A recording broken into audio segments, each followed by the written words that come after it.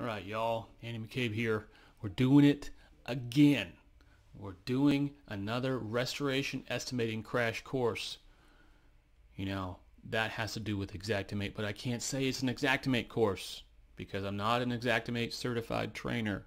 So this course is for those who are working in the restoration environment that want to learn how to quickly and accurately put together these estimates in this weird platform called Xactimate and make profit.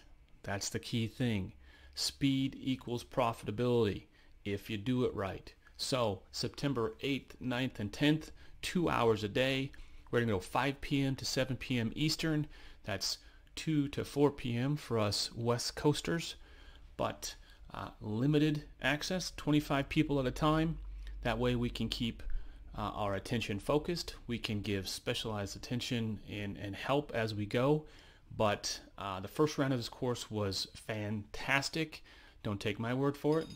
Take the other people's word for it. And um, I'm really looking forward to doing this. And as always, the phone doesn't stop ringing. I know it doesn't for you either. So get into the course and we'll see you there.